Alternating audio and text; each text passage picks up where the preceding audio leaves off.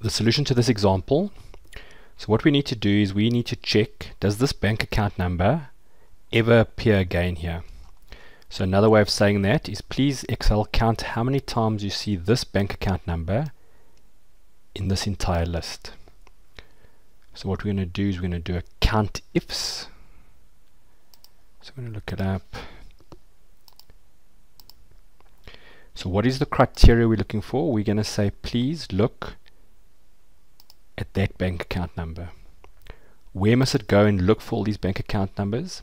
So this is the case where you actually refer to the same column. So I'm going to highlight that and I'll put my dollar signs on.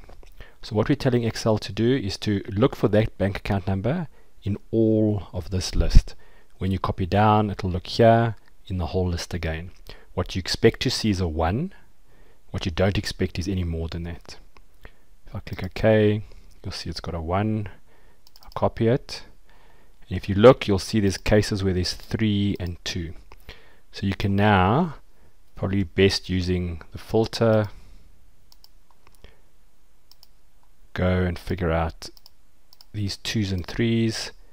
Who do they belong to? What are the bank account numbers? Who the people?